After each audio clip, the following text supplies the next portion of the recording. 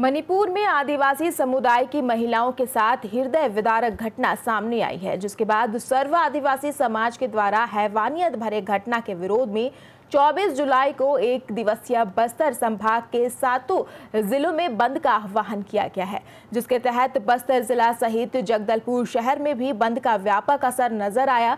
सर्व आदिवासी समाज के लोग शहर भर में घूम घूम कर प्रतिष्ठानों को बंद करवाते नज़र आए। शहर के सभी प्रतिष्ठान सहित सब्ज़ी मंडी पर भी बंद का असर बना रहा। पेट्रोल पंप और मेडिकल स्टोर सहित अन्य महत्वपूर्ण सामग्रियों के प्रतिष्ठानों को बंद से अलग रखा गया। जिला पुलिस बल के द्वारा पूरे शहर भर में सुरक्षा की दृष्टि से कड़ी व्यवस्था की गई। शहर के हर चौक चौराहों में पुलिस बल तैनात किया गया था। बस्तर चैम्बर ऑफ़ कॉमर्स के द्वारा सर्व आदिवासी समाज को बंद पूर्ण रूप से समर्थन मिला। आज का जो बंद इसलिए किया गया है, जो मणिपुर में जो घटना घटी थी, आज उसके विरोध में पूरे बस्तर संभाग में आज बंद का आह्वान किया गया है।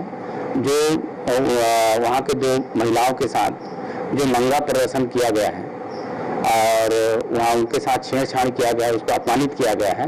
इसलिए पूरे बस्तर संभाग में आज उसके विरोध में बंद का आह्वान किया गया है। आगे है कि अभी हमारे जो अभी पूरे देश में चल रहा है इस मामले को लेकर के तो उनसे बात करेंगे। बात करने के बाद आगे क्या करते हैं तो पूरे देश में एक, एक साथ उनके निर्णय के अनुसार हम लोग काम करेंगे।